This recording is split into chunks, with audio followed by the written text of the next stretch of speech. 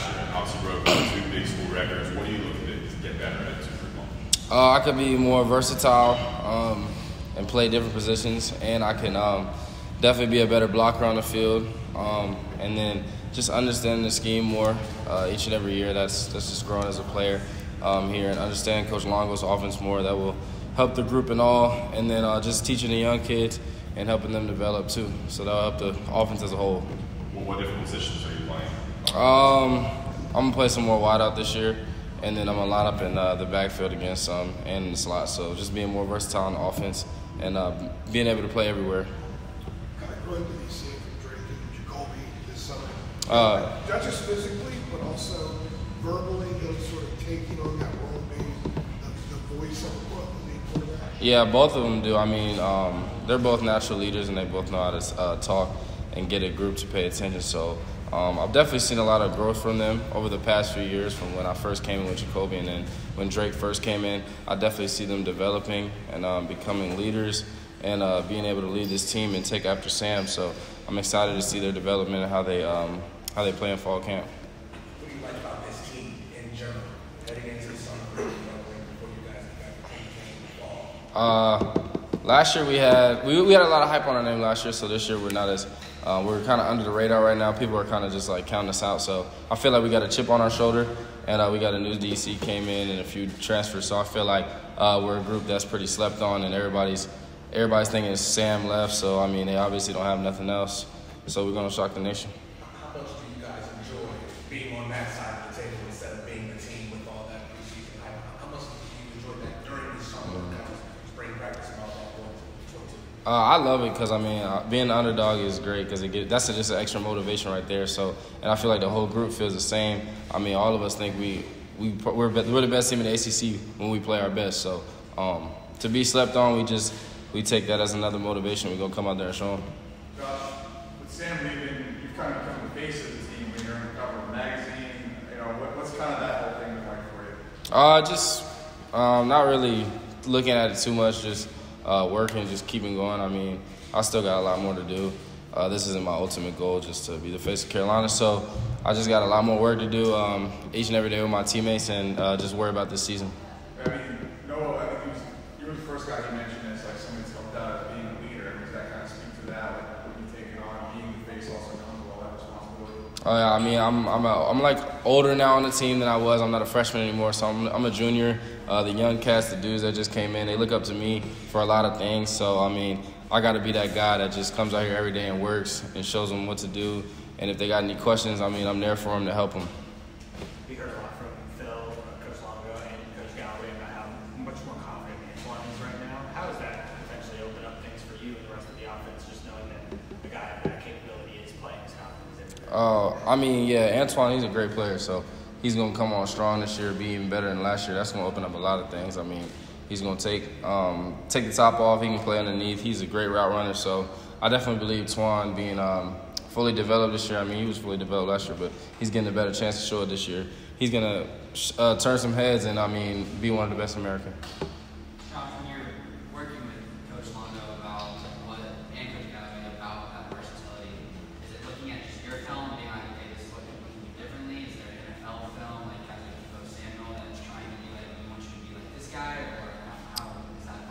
Little bit of everything. I mean, definitely look at guys in the NFL, Cooper Kupp, uh, Tyreek Hill. Um, I, I look at Deebo Samuel sometimes myself, and I mean, just different other cats in the league that have been there, done that, and uh, balling out. But also looking at my tape, what I can improve on, uh, what I was doing good last year, and what I can get better at, and then throwing in wrinkles, different plays, different formations, just to mix it up, get different guys in, get the ball to different people. You obviously had a lot of success last year, but when you think about last season, are there any negative plays that kind of stick in your brain that like, I should have done that differently, now planning on doing differently moving forward? Uh, yeah. Sometimes year I, I would get out to play in certain scenarios. Like get people couldn't tell, but like in, as an offense we knew. And then um, I had dropped a pass last year against Duke and Notre Dame that I remember in my head. So I shouldn't. I'm, I'm gonna bounce back and not let those concentration drops come this year. Josh, talk about maybe lining up more out wide, lining up more in the backfield, just different looks and stuff, is that something you have been lobbying coaches for, this is what we're thinking more for you this year. Mm-hmm. Like, how has that sort of come about in, in the planning aspect? Mm-hmm. A little bit of everything. I mean, Coach Mack, Coach Long, Long Coach Longo's always told me I was versatile, and then Coach Mack uh, told me he was telling the co- office coaches I got to play outside this year. But also me, I feel like as for my development and uh, for the next level, I need to show I can play everywhere and not just in the slot. And I mean, I don't, I don't think I'm just a pure slot. I mean, I played outside my whole high school career, and I mean, I played a lot throughout my whole life, and I played running back all the way up to high school. So I feel like I can do a little bit of everything, and um, just showing that I'm not just a one-way player. I can do a lot of things. So when they mentioned you've been like, I'm all out. Oh yeah, every time they give me a different play where I'm lined up somewhere else, I'm like, for sure, it's never a question. How, how have you improved in terms of being able to read defenses, and how's that just enhancing the play? Uh, just watching tape, um, learning from our coaches, and just growing and developing, uh, being a college athlete. Because when I first got here, it was different. I didn't really understand it. I understood it, but I didn't really like get it completely. But now I'm seeing, uh, seeing different angles, watching different receivers, watching different DBs, seeing uh, how they play, and I'm definitely understanding the game more. So I mean, just years under my belt of being here, and uh, that has definitely helped me. Josh, what's it like having uh, Ryan Switzer around the program, having him almost as like an extra resource um, that you know, somebody who you can kind of look up to? Oh, it's incredible because I mean, um, I look up to Ryan. I mean, he's he's been in the league a few years, and so whatever he says, I know that it's coming with knowledge and that he's been there and done that, and that it's coming with love. He's like a big brother to me, so I know that um, if he's telling me I need to fix something, I know I probably need to fix it. And if he's telling me I should put something in my arsenal, I know I should probably put it in my arsenal. So I mean, seeing a guy like that that's been here at Carolina and he's a legend.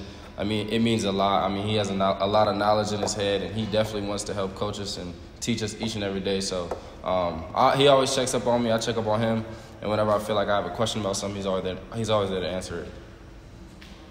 Josh, what's your level of concern or level of confidence for life after Sam?